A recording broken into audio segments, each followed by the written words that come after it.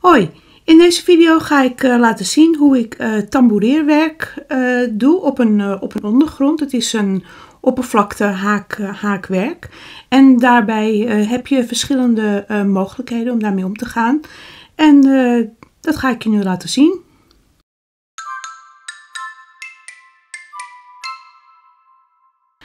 Um, ik heb wat, wat voorbeeldjes gemaakt van wat oppervlakte haakwerk. Ik ben met een, een, grote sjaal bezig en die wilde ik versieren. Ik heb dat in filethaakwerk heb ik dat gemaakt. En ehm, nou ja, ik heb hier een, voorbeeld. Dit is Alice Angora Gold. En dat is heel fijn spul. En je ziet dat het met het oppervlakte haakwerk ook nog steeds heel, heel soepel valt. Hier heb ik een, een voorbeeldje met wat, wat haakkatoen. En je ziet dat dat er al heel ja, een andere ja, look heeft eigenlijk. Um, je ziet hier ook dat je ook dingen over elkaar heen, heen kunt doen. Daar kun je ook mee, mee spelen. Maar ik ga je nu gewoon eventjes wat voorbeelden laten zien. Um, bijvoorbeeld deze rij. Deze twee rijen, die heb ik uh, zo gemaakt. En daarbij heb ik in de, zeg maar, de, de, de, de spijltjes zeg maar, ingestoken. Uh, daarmee veranker je het. En ehm, ja, dat is, het is wel te doen hoor. maar er is ook een andere manier waarbij je dus niet in de spijltjes insteekt, maar gewoon tussen in de, in de, de hokjes ertussendoor. Uh, dat werkt uh, iets, uh, iets makkelijker. Maar ik ga het je toch even laten zien. misschien is er een reden dat je het toch wilt, wilt verankeren. Ehm, ik eens even mijn gade erbij pakken. Even kijken wat het begin is daar. Eén tip. Um, ik vond het fijner om, voordat ik hiermee aan de gang ging, om eerst mijn, mijn lapjes te, te blokken. Uh, waardoor je een wat beter zicht hebt op uh, de grootte van de, van de hokjes. En um, ja, dat vond ik fijner. Um, Oké, we beginnen met um, deze eerste uh, rij. Waarbij ik zeg maar insteek in de hokjes hier zelf. Nou, het is zo dat met dat haakwerk. Dan leg je de draad waarmee je haakt. Die leg je achter je werk neer. En je haalt zeg maar, die steken haal je naar boven. Um, nou, als je je steken verankert in die, um, in die spijltjes, ja, dan is het waarschijnlijk wel het mooist om um, een vaste plek te kiezen waar je dat uh, insteekt. Als je je lijn natuurlijk gewoon recht uh, naar boven wilt laten lopen. Dus nou, ik begin hier in te steken. Ik pak gewoon wat en ik haal een steek naar boven.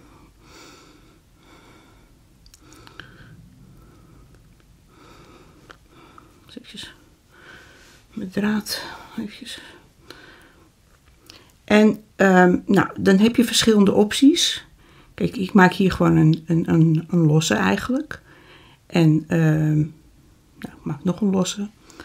En um, ja, het is wel fijn als je los werkt. Want als je te dicht op elkaar werkt of je, je maakt je losse te strak, uh, dan, ja, dan gaat het werk in elkaar uh, trekken.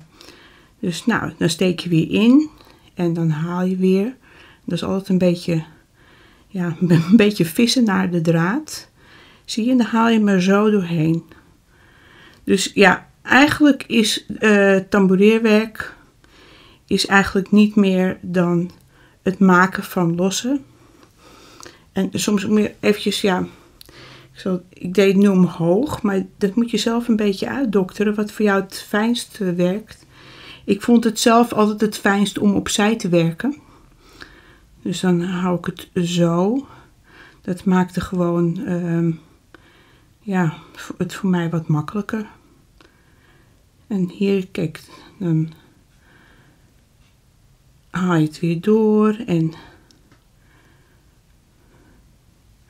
Dus ja, je kunt uh, spelen met uh, hoeveel uh, losse je er tussendoor haakt. Um, dat heeft gewoon te maken met je, je hand van werken. En probeer wel gewoon consequent uh, te blijven. Dat als je uh, op een gegeven moment twee of drie lossen maakt. van één hokje, over één hokje heen. Dat je dat dan ook in het volgende, volgende hokje doet. Ehm, nou ja, dus dat is een manier. Um, ik zal eventjes laten zien. Kijk, als je nu weer terug gaat en ik zal het ook eventjes hier laten zien. Kijk, als je een, een, uh, een, een uh, losse maakt, dan heb je hier zo'n V-vormpje. Um, ik kan het misschien een beetje iets, iets duidelijker hier laten zien. Kijk, dan heb je zo'n V-vormpje en die staat dan zo. Als je een bochtje maakt en je gaat weer terug, dan staat die V-vorm, die staat natuurlijk op, op zijn kop. Um, nou ja, dat is een, een keuze die, die je maakt. Uh, als je zegt van nou, ik vind dat, vind dat prima. Nou, dan kun je gewoon, als je bijvoorbeeld aan de rand bent gekomen, kun je een bochtje maken. Als je zegt van ja, maar dat wil ik toch liever niet eigenlijk. Ja, dan zit er niets anders op dan gewoon tot, te haken tot de plek waar je, waar je wilt. En dan in de rij daarnaast bijvoorbeeld overnieuw te beginnen.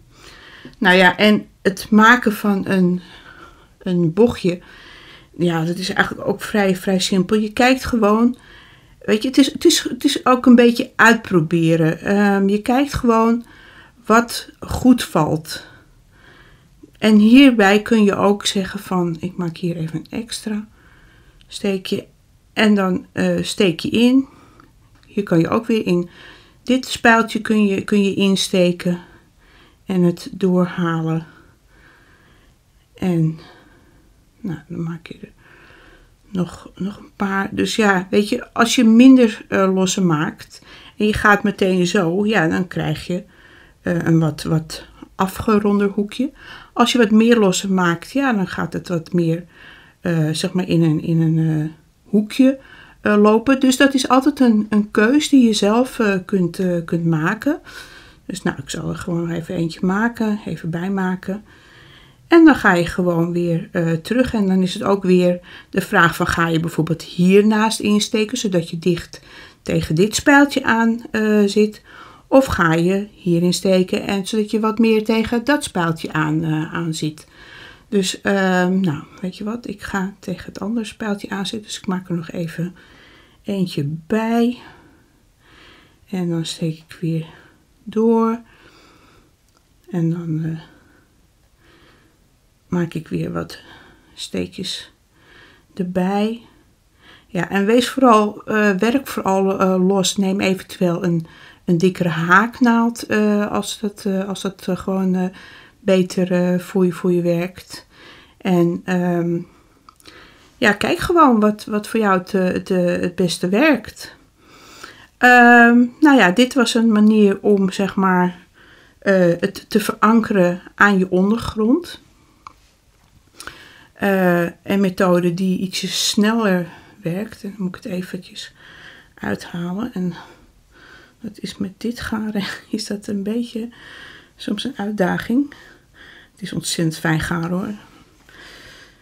En dat is dat je uh, dus niet verankert. En daarbij begin ik meestal um, ietsje anders. Um, hier begon ik net door in te steken en de draad naar boven te halen. Um, in dit geval maak ik gewoon eerst een, uh, een lusje, zeg maar. En die haal ik, die leg ik onder mijn werk door en die pak ik dan zo op. En dan uh, ga ik vervolgens haken, maar niet, ik steek niet in in de spijltjes. Ik haak er overheen. Dus, nou. En dan hangt het er ook weer vanaf hoe los je haakt, hoe groot je je steken maakt. Um, dus je pakt hem hier weer op.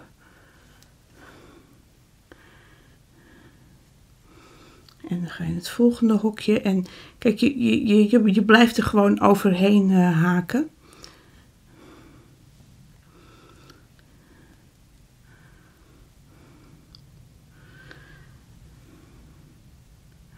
Nou, en dat heeft als voordeel dat je gewoon iets, uh, iets sneller werkt. Omdat je dan, uh, nou, je moet natuurlijk niet de, het garen van de ondergrond meehaken. Dat moet je natuurlijk wel voorkomen, want anders heb je het alsnog uh, verankerd.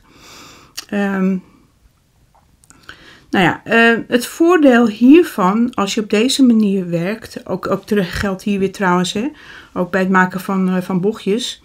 Uh, je moet zelf even kijken hoe breed je, hoeveel steek je aan de boven- of onderkant maakt voor ja, de breedte die je moet overbruggen.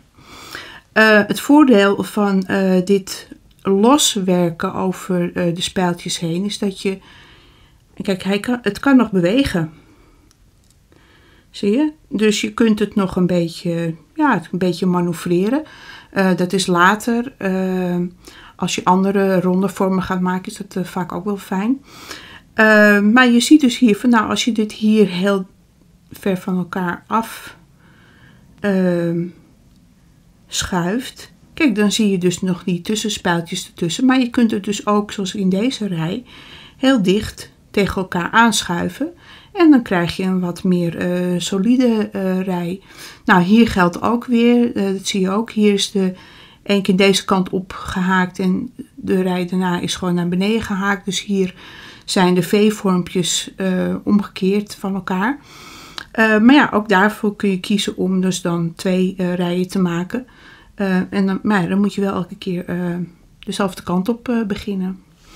Nou, hier um, heb je nog een andere manier. Ik heb nu bijvoorbeeld een paar, losse, of, ja, een paar losse gemaakt per, per hokje. Maar je kunt ook zeggen van nou, ik maak maar één hele lange losse per hokje. Nou, ik heb hier nog eventjes mijn schuifknoopje erop zitten. Um, ik haal hem er weer eventjes door. En bij de eerste doe ik het meestal eventjes omheen nog. Dus ik maak eerst even één steekje. En dan kun je je draad gewoon omhoog halen. En dan kijken van, oh, waar moet ik ongeveer uitkomen? En daar, nou, dan ga je naar het volgende hokje. En dan haal je daar je draad omhoog. Dus ja, dat is in het begin een beetje, een beetje uitdokteren. Kijk, hier ben ik niet consequent geweest, want deze is wat te klein en deze is wat te groot. Dus het is in het begin even spelen om uh, naar, de juiste, naar de juiste lengte uh, te zoeken. En uh, nou, dat, dat werkt vrij, vrij snel hoor. Dat, dat heb je vrij snel door. Ik zal het eventjes opzij doen, want ik vind het gewoon wat prettiger om opzij te werken.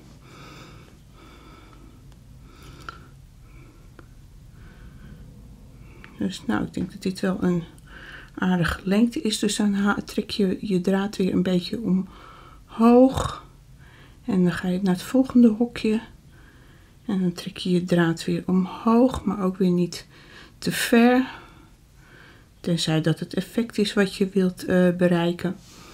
Nou ja, en, en zo kun je dus uh, het op die manier uh, doen. Dus ja, je kunt er, ehm, je kunt er eh, ja, heel erg mee spelen. Ik heb hier trouwens het uh, tekort op elkaar gedaan. Je ziet dus dan ook meteen wat er gebeurt.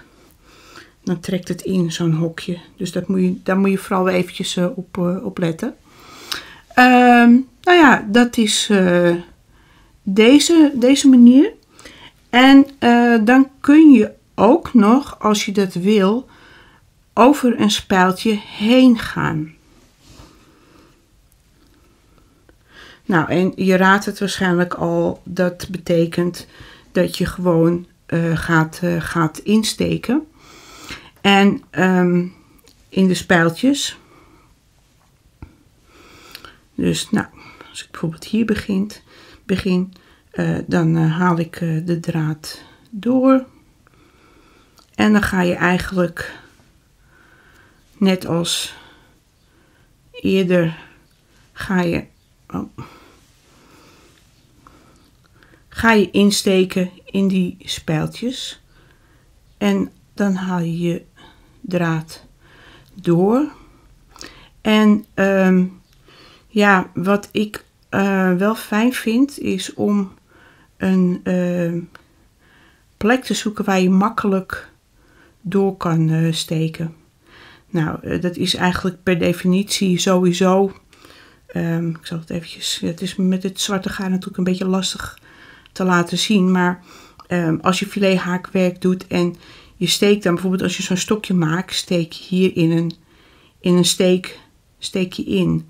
Nou, dan is het natuurlijk ook makkelijk om bij het uh, ook dan in, op die plek in te steken. En dan, ja, ergens, ergens hier, ook als je twee, uh, stok, of, uh, twee lossen wilt maken. Um, ik zal het even aantrekken.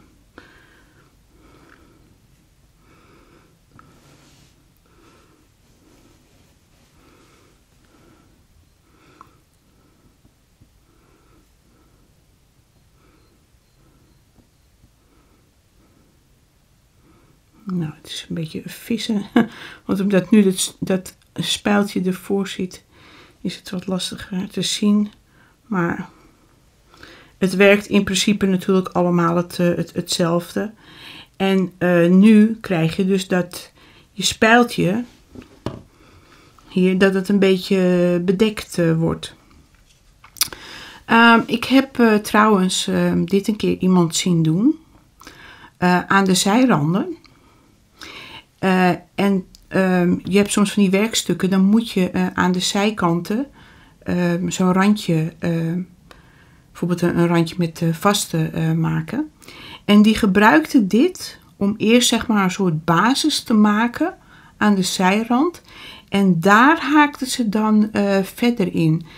En dat gaf best een, een leuk, leuk effect, moet ik zeggen. Het was ook in die zin makkelijk omdat ze dan uh, heel makkelijk kon zien waar ze moesten insteken. Uh, ik weet uh, uit de commentaren van heel wat Facebook-posts dat mensen echt ja, soms moeite hebben om te denken van ja, maar waar moet ik dan precies insteken en hoe moet ik tellen en zo. En als je zo'n rij met, met lossen maakt op, op, een, op een zijrandje, dan is dat een hele mooie ja, makkelijke manier om, om die zijranden uh, te maken. Nou, um, hier bij deze heb ik uh, twee steken per zeg maar hokje gedaan. Hier op de terugweg heb ik ook weer een lange steek. Dus één steek over een hokje gedaan. Dus ja, je ziet uh, dat je daar gewoon mee kunt spelen. Uh, je kunt zelf keuzes maken van wat vind je, wat vind je mooier. Ik moet zeggen dat ik die, uh, die langgerekte versie, het heeft wel mijn voorkeur. Dit is wat massiever. En nou ja, ik heb hier een voorbeeldje gemaakt. Ehm, kijk, je hoeft niet alleen maar één kant op te werken. En je kunt ook over andere lagen heen werken. Kijk, hier ben ik eerst met het geel begonnen. En toen heb ik dat, uh, dat blauw eroverheen gedaan. En toen heb ik het groen eroverheen gedaan. En toen later heb ik het rood eroverheen gedaan. En dit rood is ook weer met die lange, lange lussen. Dus, en ja, weet je, hier heb ik het weer anders gedaan. Dus, en dit is trouwens op de spijltjes. En dit is tussen de spijltjes in. En dit is verankerd. En dit is niet verankerd. En uh, ja, weet je, je kunt gewoon uh, je fantasie uh, erop loslaten. Ehm, je kunt werken met andere soorten garen. bijvoorbeeld als je, hele, als je een, een, een basis hebt die niet zo pluizig is en dan met een super pluizig garen erop werken. Ja, je, je kunt, nou bijna zou ik niet bedenken of je kunt het wel versieren, zo'n ondergrond. Dus uh, nou ja, ik uh, ga nog uh, video's maken waarbij ik golfjes ga maken en diagonalen. En nou ja, dat komt nog. nou ja, wil ik je alleen vragen van als je deze video leuk vond, om me dan een duimpje omhoog te geven. En ik zou het ook heel leuk vinden als je je op mijn kanaal abonneert. En dan zie ik je weer terug in de volgende video.